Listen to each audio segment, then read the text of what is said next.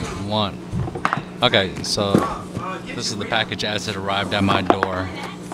Okay, I'm gonna just fast forward through this part where I'm opening up all the boxes. Uh,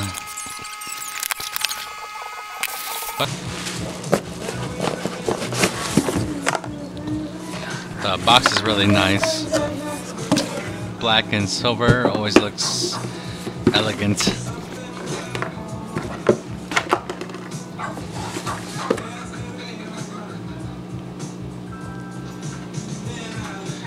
Trying to focus on the label, but that's the part number right there.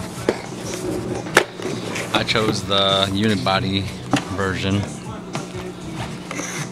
I figured like if I'm going to crash it then and if it breaks then I'll just change out the whole entire frame and try something else. Yep, that's the LED PDB and uh, what's that rear bumper LED holder. And I gotta open up this package to see what's in there. Instructions is pretty much just an exploded view. Uh, it's got a little inventory checklist. But on the back side here is an exploded view. Let's see what's in.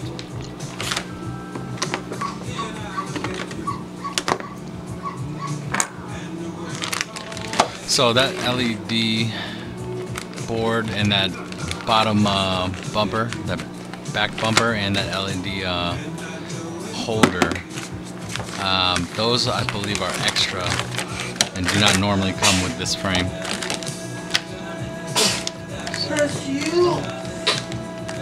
And we got the mirror stickers, LED PDB, the rear bumper, the LED mounted brace, um,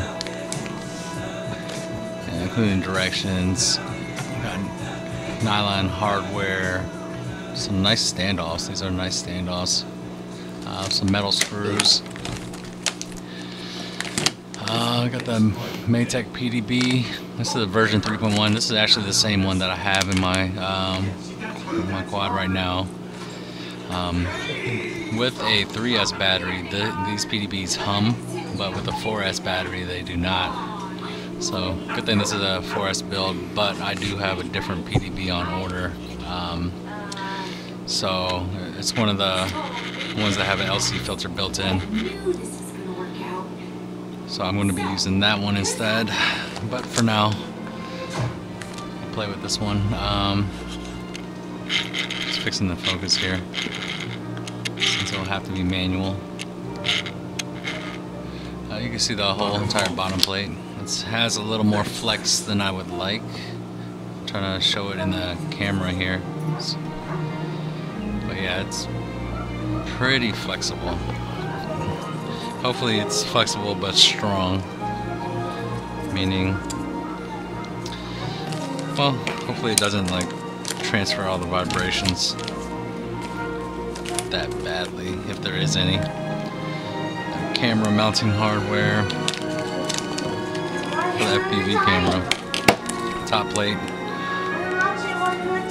Top plate's pretty thin. That's my son in the background. Just watching a movie. So these extra parts. you got two different places where you could put the VTX antenna in, in the front using that little extra piece or in the middle front. But, No, that's enough. yep, that's my son wanting to uh, stay and not go to That's sleep.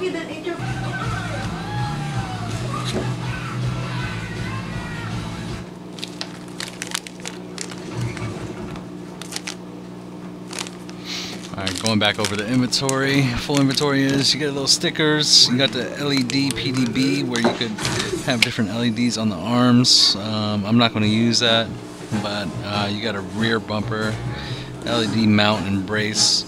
You got directions uh, with the exploded view. Got some uh, nylon hardware, standoffs, metal screws, landing pad standoffs with covers. Don't like the covers, but uh, you'll see in the video.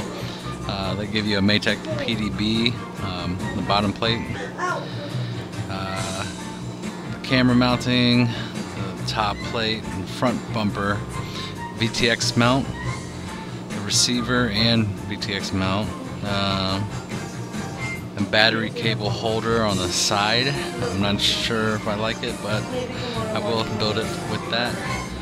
Uh, they give you some X, XT60 connector cables, some heat shrink, so that's a nice add-on. Uh, sometimes if you don't have it, it's a pain in the ass to find it. Uh, what I don't like is that little PVB you know, carbon fiber um, spacer, but right now what I've been doing is just comparing the size on my uh, QAV 210 with this uh, 220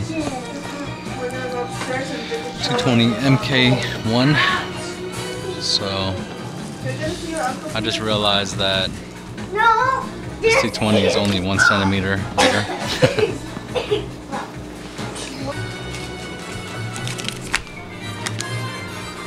Uh, back to the quad.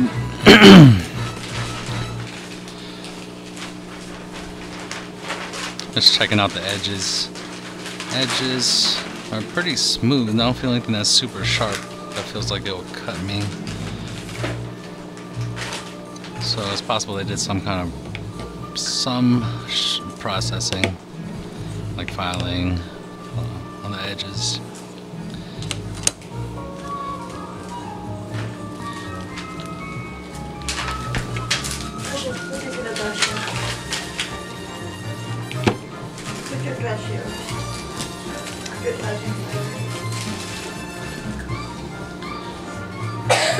So right now I'm just comparing,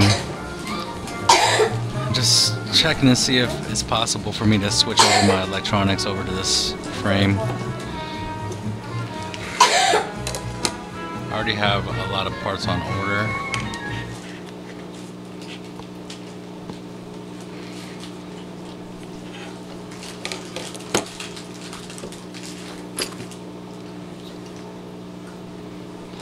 Now I'm to start putting everything together, to see how it looks.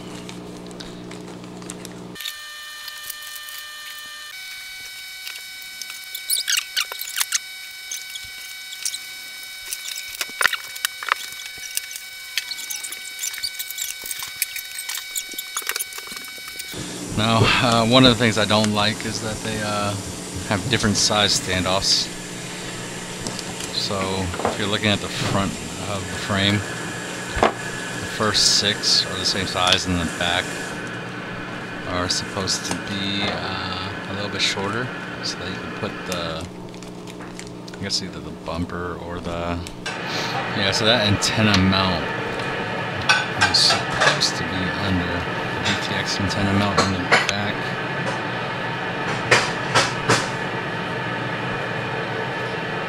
So I don't know why they would decide to put add-ons on the stack. As a carbon fiber stack. Add-ons under within the stack when I put all the extras outside? Include screws that are longer like you've got um, 18 of these 6 millimeter screws and only two of the 10 millimeter screws for that one part that is longer. Why don't you just include 10 millimeter screws? I mean, I don't think you're saving that much weight, but the, having the strength of the longer screws and being able to add other stuff, um, the add-ons that you guys have on the carbon fiber frame, and other things that other people might want to add on, uh, like GoPro mounts on the front, on the top. Um, I mean, it's nice instead of just having to use these short screws. Or we could just all buy our own screws, but it'd be nice just to have it included. If somebody was really that concerned with uh, the RAM they would get off the, off the weight of uh, six millimeter six millimeter versus ten millimeter screws. Pretty sure they will have their own, and they'll probably use nylon screws hmm. instead of metal screws anyway, if they're that concerned.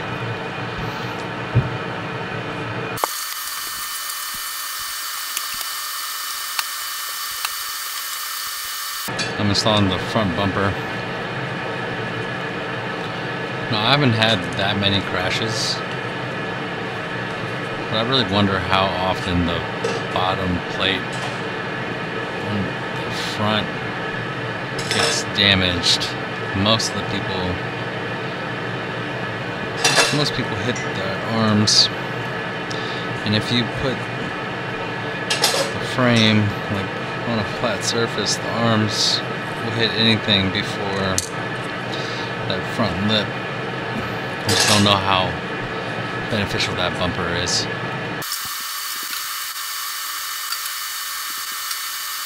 Those little landing pad, landing skids, uh, they got those little rubber, little plastic covers you can put on them. You'll see once um, I put those on. It just really makes the quad not balance. It's almost like a, a table with a long leg. It's just more annoying. What I like to do on those is uh, just put a nylon screw at the bottom of those and everything will be nice and level. And the nylon screw won't damage any tables or any surfaces, any paint.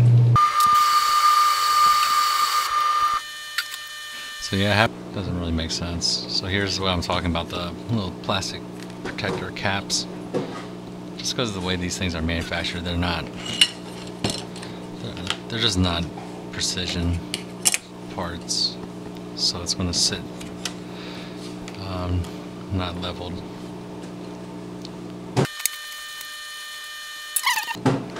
The VTX mount, all these uh,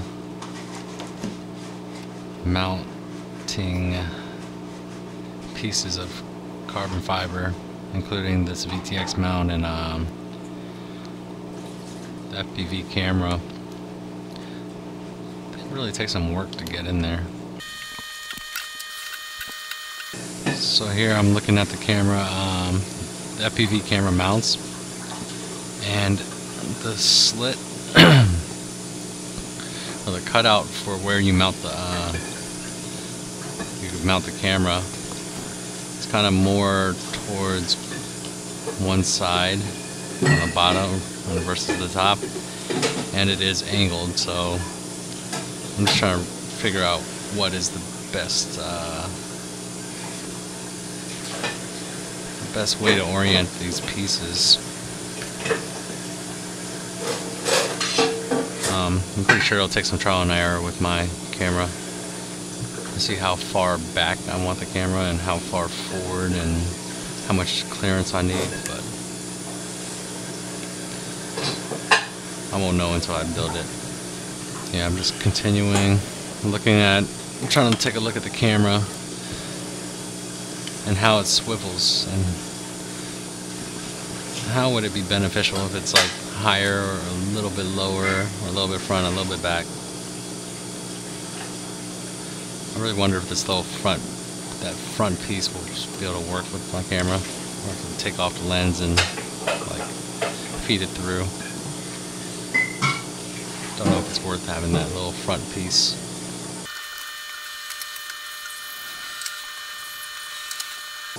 As you can see, it takes a lot of work to get these little FPV camera mounts, but I mean, the more you,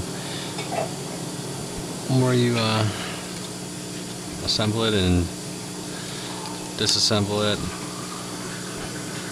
it gets a little easier to fit in. It's super tight.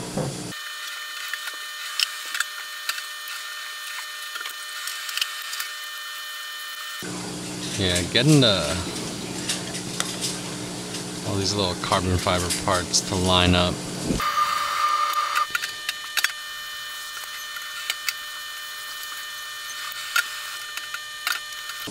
Yeah, I don't know if uh, Just trying to force these pieces into the little slots and I'm rubbing off the carbon fiber. But it's enough where I'm seeing noticeable carbon fiber dust on my fingers, so that's kind of kind of scary. You know, you don't want to see uh, carbon fiber when people are talking about uh, causes cancer.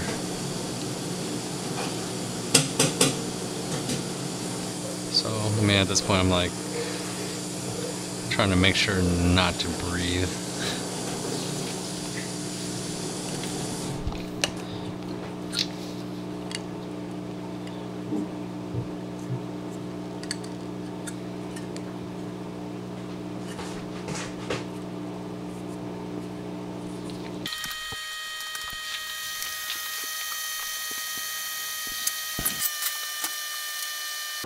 Yeah, I really don't like adding on add-on pieces on the inside of that stack between the bottom and top plates. Uh, it would make a production a little simpler. You have all the same size standoffs and all the same size screws.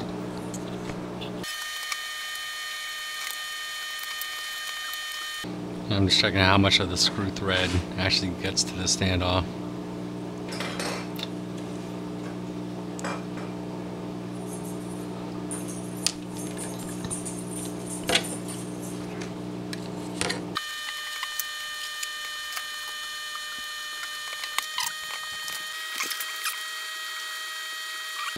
You know, I'm looking at the instructions right now as I read this. And that piece is not a spacer, that is a VTX mount. Along with the other VTX mount. Uh, flight controller, video transmitter mount. Well, it could be my receiver mount. That might work out I can check this stack. Maybe I can zip tie that thing to there. That might work. I might find it a little annoying. Alright, here. Just taking everything apart because I want to test this LED PDB. See how it fits. If it's even usable.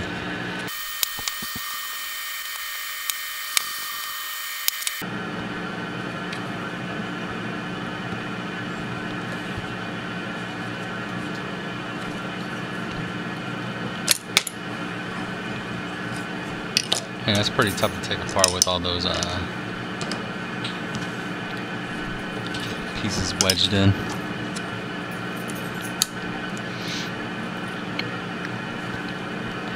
So this piece is actually a kind of like a VTX mount.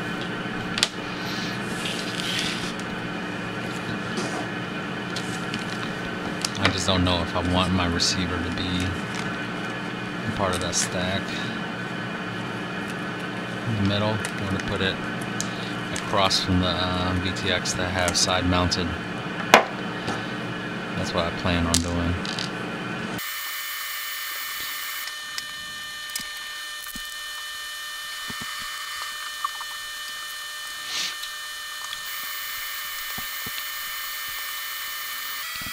I'm just putting screws into the LED PDB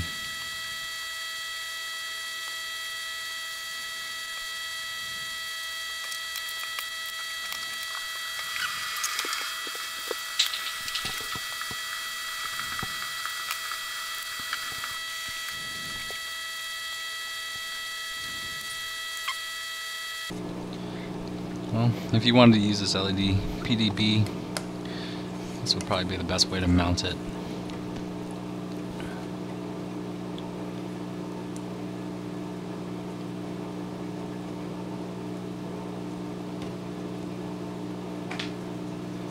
I would probably just put the screws in from the inside out and have the nuts on the bottom.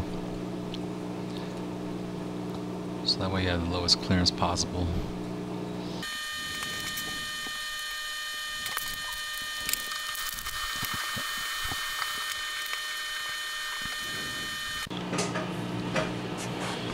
Alright, so I'm going to check here how the PDB will fit on the stack.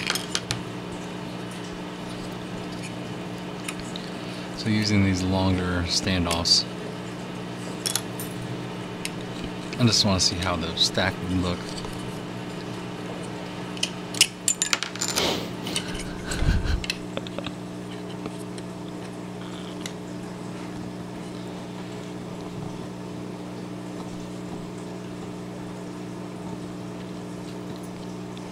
Yeah, I don't really like the way the stack would look with it starting out so high.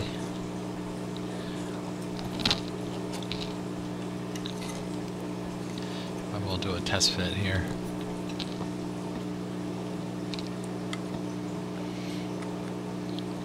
It would be nice if it just like slid on nicely.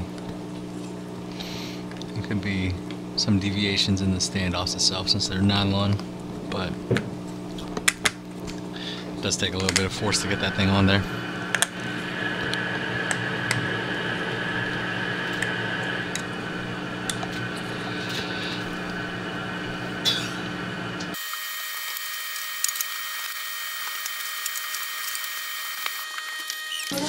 So I'm using that little either VTX or receiver mount, it does allow me to use these smaller standoffs. But in, the end, either I won't use that mount or I will, but it won't be there. I'll have the, just uh, nuts to separate the PDB from the um, from the carbon fiber.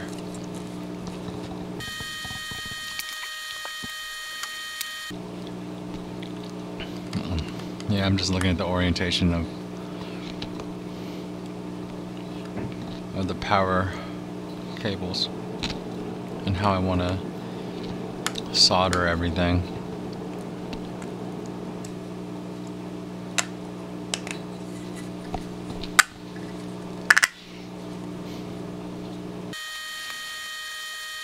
Yeah, with this Maytech PDB, it wouldn't matter which way you orient the board because you're not running signal wires through the ESCs. But on the PDB that I have coming, it does run the signal wires through the PDB and out to the flight controller. So running the power cable will be interesting.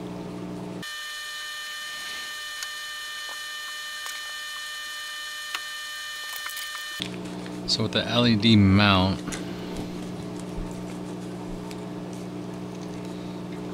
I really do not like the recommended way they have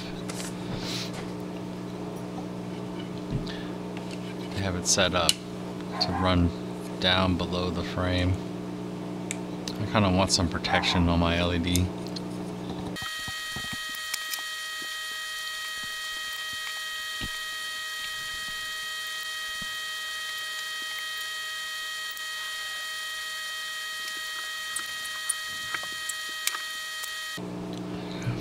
This LED mount, I really wish you could put it outside the stack.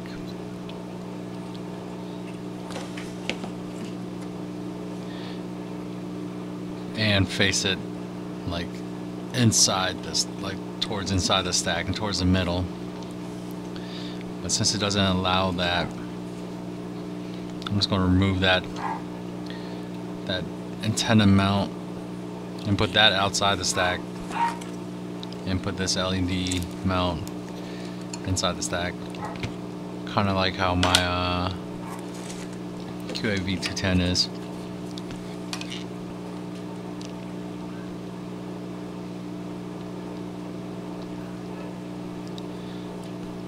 And the lens I have on my QAV210 is the GoPro replacement lens.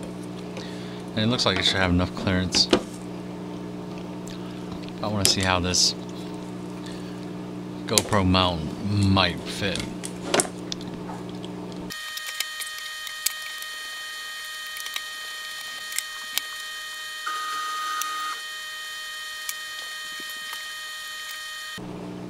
Now that's a suggested way to mount it.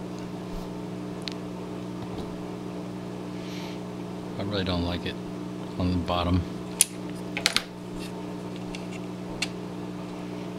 I'm just looking how, at how thick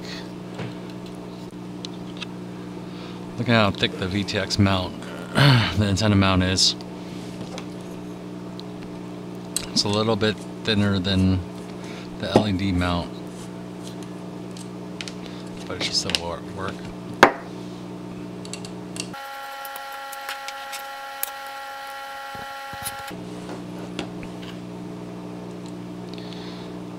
So because of the extra thickness, it does kind of bend the carbon fiber out in the back just a little bit, but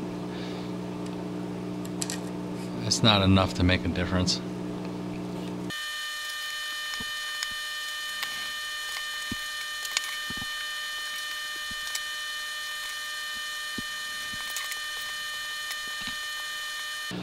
Yeah, well, really do apologize. This video is a very boring video. I mean, it's just a carbon fiber frame. You really cannot mess up on these frames. Uh, they'll either break or not. This is a 3 millimeter bottom plate, so the flex is a little more than we like, but yeah, I mean, the only thing you can do is mess up on how everything fits. Does fit. This one does come with a lot of extra parts. So that makes uh, build just a little bit different because you have to actually think about where you want to use these parts or if, even if you want to use these like bumpers and antenna mounts. But it gives you options.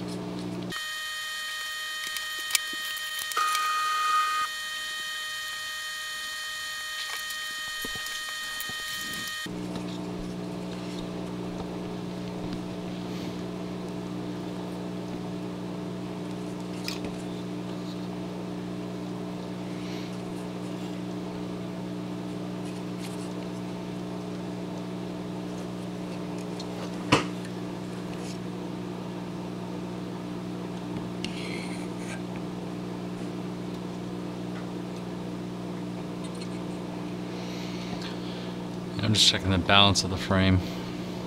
Seems pretty good.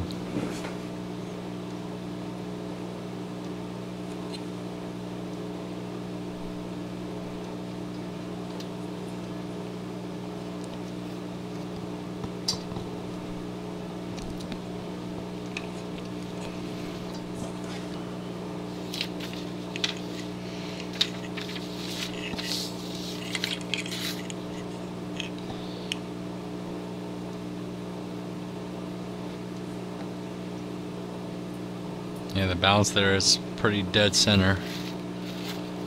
So, good job.